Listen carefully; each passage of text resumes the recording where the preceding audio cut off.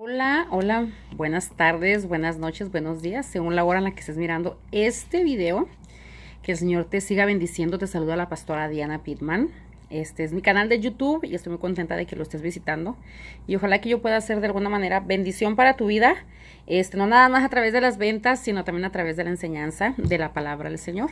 Este, hace meses atrás que estaba yo grabando videos acerca de lo que es eh, las clases de este maravilloso curso de Celebremos la Recuperación y las detuve por falta de tiempo. Hoy las retomo. Me quedé en la clase número 5.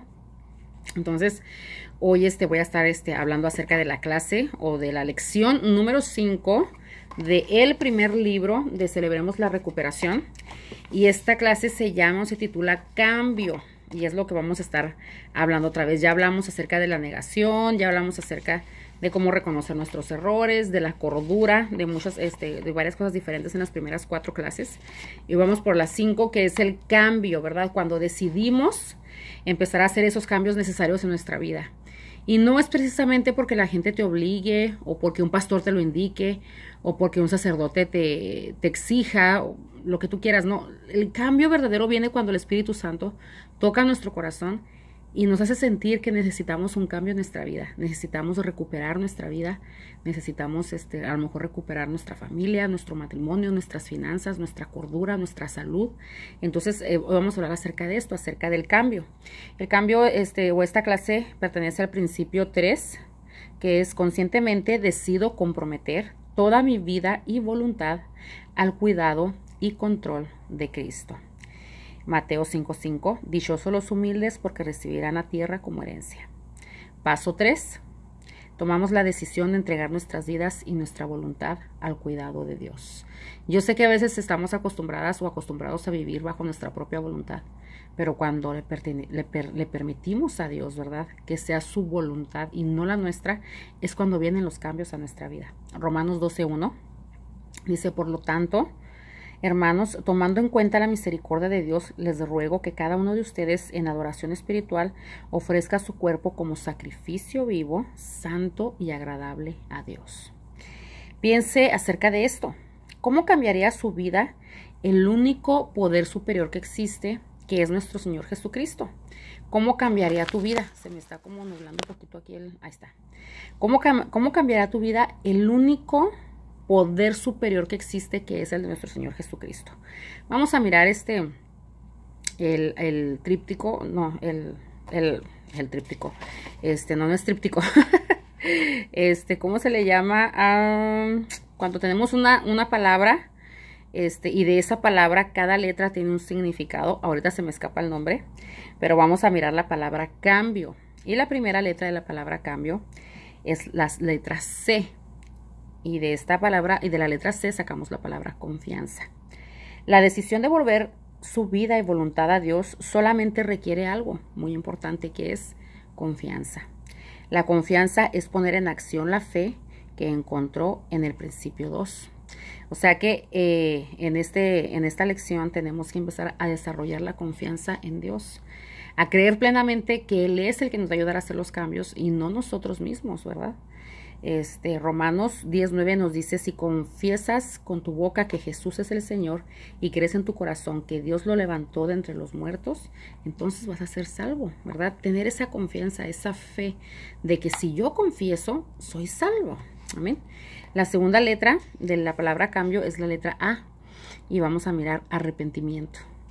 Para arrepentirse de verdad, usted no solamente debe alejarse de sus pecados, sino entregar su vida a Dios. El arrepentimiento le permite disfrutar la libertad de su amorosa relación con Dios. Marcos 1.15 dice, vuélvanse a Dios y acepten con fe sus buenas noticias. Ay, llega el momento de tu vida en que dices, ya no puedo más, ya hice de todo, ya probé de todo y es el momento de volver a Dios, ¿verdad? Es el momento de regresar al Señor. Romanos 12.2 dice, no imiten la conducta ni las costumbres de este mundo sean personas nuevas, diferentes, de novedosa frescura en cuanto a conducta y pensamiento, así aprenderán por experiencia la satisfacción que se disfruta al seguir al Señor. Y créanme, se los digo por experiencia propia, porque cada día lo vivo, el seguir a Dios, el servir a nuestro Señor Jesucristo, el estar cerquita del Espíritu Santo es la mejor satisfacción que puedes tener en tu vida. Permítete tener esta relación con Dios. Ten fe, ten confianza, arrepiéntete y acepta a Jesucristo en tu corazón y reconcíliate con Dios lo más pronto que puedas para que puedas mirar cambios positivos en tu vida. La siguiente letra este, de la palabra cambio es la, tercera letra, es la M, y vamos a mirar mente de Cristo.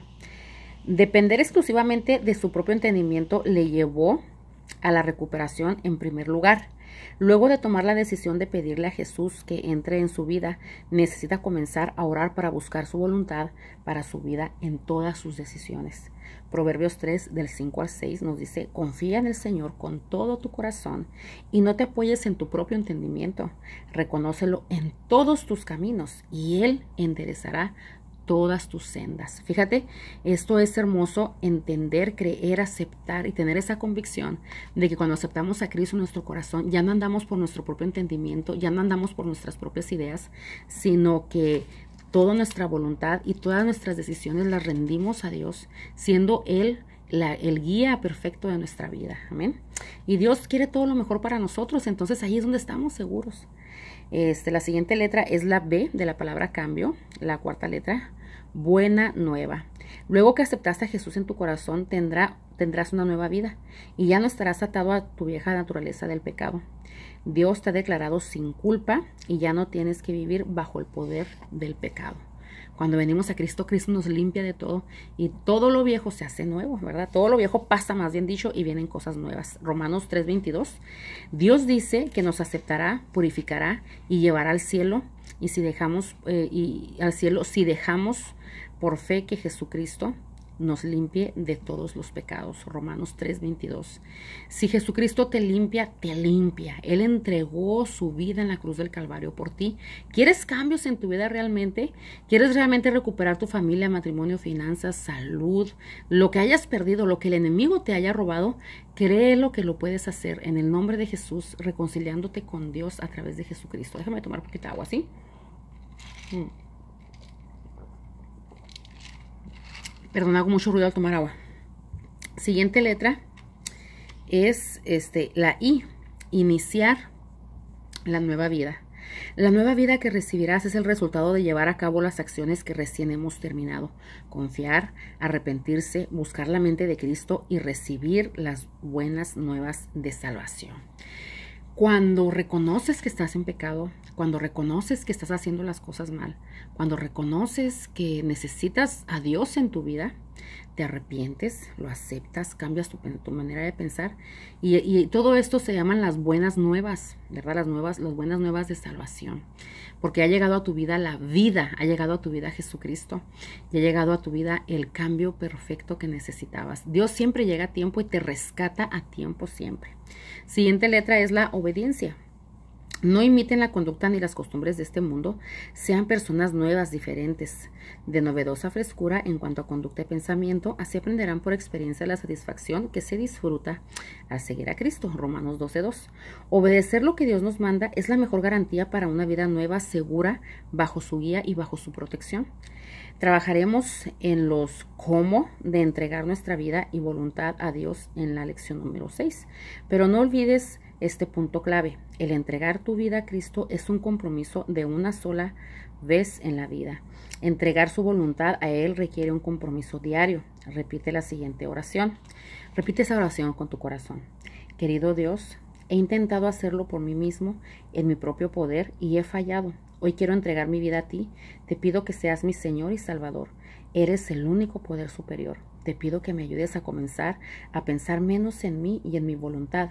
En mi oración, entregar mi voluntad a ti diariamente. Busco de tu dirección y sabiduría para mi vida. Por favor, sígueme ayudando a vencer mis heridas, mis complejos y malos hábitos y que sea y que esa victoria sobre ellos ayude a otros cuando vean tu poder en acción a cambiar mi vida. Ayúdame a hacer siempre tu voluntad. Lo oro en el poderoso nombre de Jesús. Amén. Es bien sencillo, ¿verdad? El cambio, o sea, el que te decidas hacer un cambio es bien fácil, es tener confianza, es arrepentirte de tu corazón, es pedirle a Dios que te cambie, a, que te ayude a cambiar tu manera de pensar, es recibir las buenas nuevas de tu vida, es decidirte a iniciar una nueva vida y luego tener obediencia a su palabra, ¿verdad?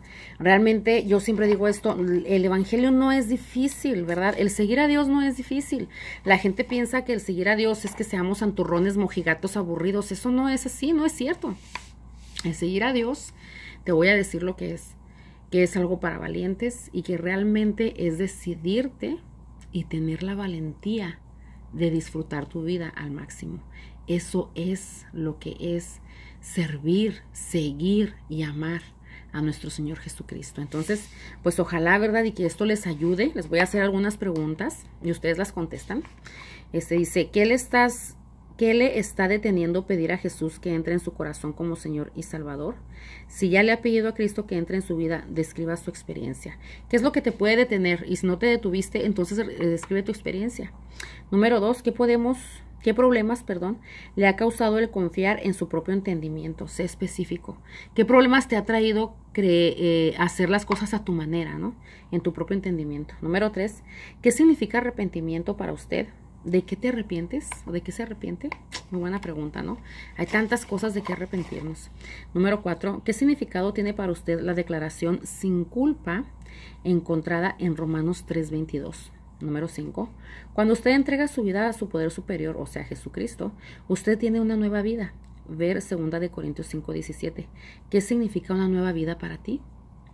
Número 6. ¿Qué significado tiene la oración del principio 3 para usted? Esta fue la clase número 5, titulada Cambio, del el curso Celebremos la Recuperación. Ojalá que esto les ayude un poquito a reflexionar, a pensar, a acercarse a Dios, a convertirse a Jesucristo, pero sobre todo que te ayude a recuperar tu vida, todo lo que el enemigo te ha robado o todo lo que tú le has entregado, es tiempo de que lo arrebates y lo recuperes en el nombre de Jesús. Entonces nos, miramos en la clase número 6. Que el Señor les bendiga. Yo soy la pastora Diana Pittman. Hasta pronto. Bye bye.